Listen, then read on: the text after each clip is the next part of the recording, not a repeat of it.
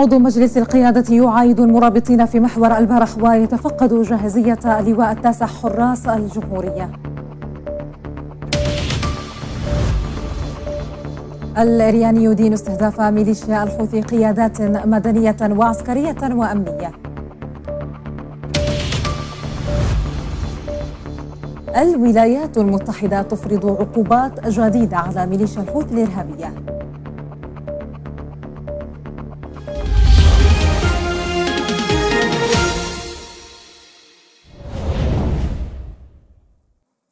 السيدات والسادة أهلا بكم في نشرة أخبار العاشرة والبداية مع خبر عضو مجلس القيادة الرئاسي طارق صالح الذي تفقد جاهزية اللواء التاسع حراس الجمهورية بمحور البرح في إطار زيارته ومعايداته للمرابطين في جبهات الساحل الغربي بمناسبة عيد الأضحى المبارك.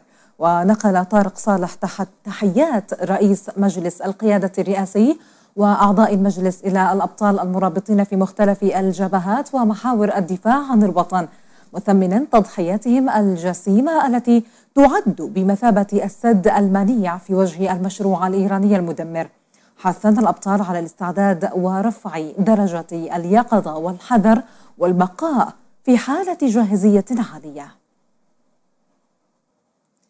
تفقد وزير الأوقاف والإرشاد الدكتور محمد شبيب مخيمات حجاج بلادنا بمشعر منى حيث يقضي الحجاج أيام التشريق استعدادا لإتمام مناسك الحج لهذا العام 1445 وهنأ الوزير شبيب الحجاج بعيد الأضحى المبارك وقرب إتمام مناسك الحج لهذا العام راجيا لهم موفور الصحة وقبول حجهم وعودتهم سالمين غانمين إلى أهاليهم.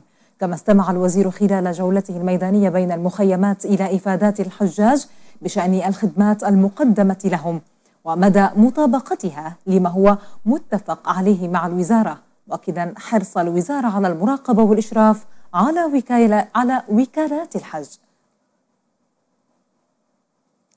أدان وزير الإعلام والثقافة والسياحة معمر الإرياني بشدة إقدام ميليشيا الحوثي على استهداف وكيل محافظة تعز لشؤون الدفاع والأمن اللواء الركن عبد الكريم الصبري ورئيس أركان حرب محور تعز اللواء عبد العزيز المجيدي وعددا من القيادات المدنية والأمنية والعسكرية كانوا في زيارة معايدة لأبطال الجيش الوطني المرابطين في معسكر المطار القديم شمال غرب مدينة تعز.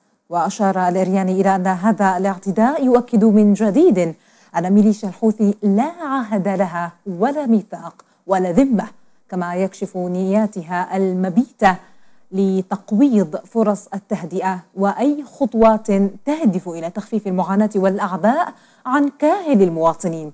واغتيال فرحة أبناء تعز وكل اليمنيين بتخفيف الحصار الجائر الذي تفرضه ميليشيا الحوثي على المحافظة منذ قرابة عقد من الزمن زار الوكيل الأول لمحافظة المهرة العميد الدكتور مختار بن عويض الإدارة العامة للأمن في مدينة الغيضة برفقة الوكيل الفني المهندس عوض جويزان. واستقبل الوكيل الأول المدير العام للأمن والشرطة العميد مفتي صمودة وهنأ الوكيل ضباط إدارة الأمن بهذه المناسبة العظيمة. ناقلا تهاني قيادة السلطة المحلية وتبريكاتها. مثمنا دور ضباط الأمن وأفراده في الحفاظ على السكينة العامة وممتلكات المواطنين. وألقى المدير العام للأمن والشرطة كلمة ترحيبية أشاد فيها بالنجاحات التي حققها منتسبو الأمن والشرطة في تنفيذ الخطة الأمنية خلال عيد الأضحى المبارك مؤكدا التزام رجال الأمن والشرطة بأداء واجبهم الوطني. رمى حجاج بيت الله الحرام اليوم ثاني أيام التشريق الجمرات الثلاث بيسر وسهولة. تحفهم عناية الله ورعايته. مبتدئين بالجمرة الصغرى فالوسطى ثم جمرة العقبة. وبعدها توجه الحجاج المتعجلون إلى بيت الله الحرام لأداء طواف الوداع. وأكدت وكالة الأنباء السعودية أن حركة الحجاج نحو جسر الجمرات اتسمت بسهولة في مساراتهم. في الذهاب للرمي أو العودة إلى أماكن سكنهم في مشعر منى أو توجههم إلى مكة المكرمة لأداء طواف الوداع لمن تعجل منهم. نشر مركز الملك سلمان للإغاثة والأعمال الإنسانية عبر الشريك المنفذ أو المنفذ مؤسسة يماني في العاصمة المؤقتة عدد مشروع الأضاحي في اليمن للعام 1445 للهجرة.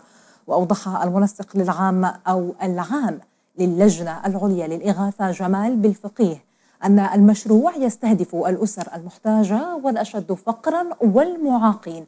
مقدما شكره لمركز الملك سلمان للإغاثة والأعمال الإنسانية على هذا المشروع.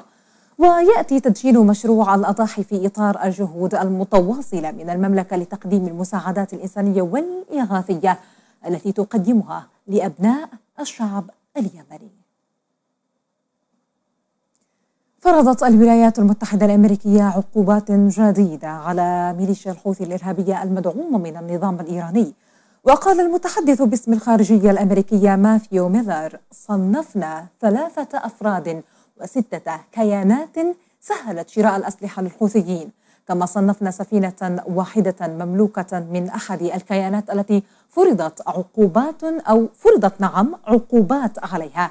وأعددناها ممتلكات محظورة.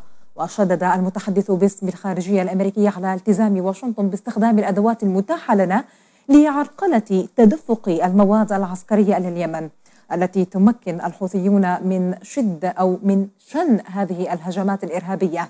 وأشار إلى أن هجمات الحوثيين ضد السفن التجارية غير المسلحة تستمر في عرقلة الملاحة في ممر مائي حيوي. تشهد مدن ساحل حضرموت أجواء صحوة مع بعض السحب المتفرقة ورياح معتدلة السرعة ودرجات الحرارة حارة نهارا إلى دافئة رطبة ليلا. وفي أرياف ساحل حضرموت والهضبة الجنوبية أجواء صحوة ورياح معتدلة السرعة ودرجات الحرارة حارة نهارا مائلة للاعتدال ليلا. فيما تشهد مناطق وادي وصحراء حضرموت والهضبة الشمالية أجواء صحوة مع انتشار بعض السحب الرعدية على رؤوس الأودية والهضاب ورياح معتدلة السرعة ودرجات الحرارة حارة نهارا إلى معتدلة ليلا. والآن مشاهدينا إلى حالة الطقس.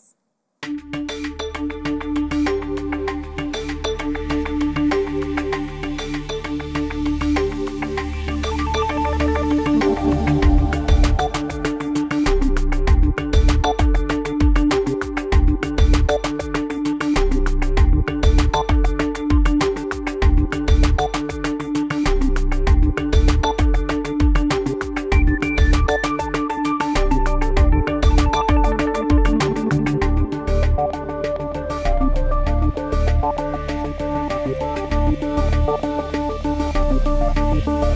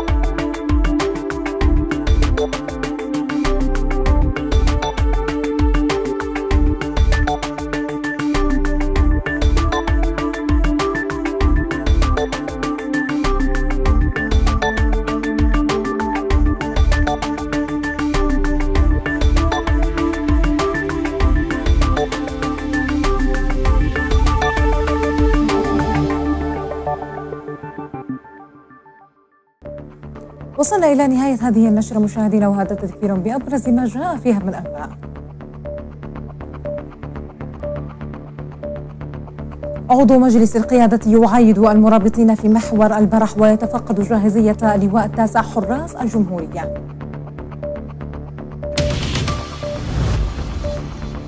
الإرياني يدين استهداف ميليشيا الحوثي قيادات مدنية وعسكرية وأمنية.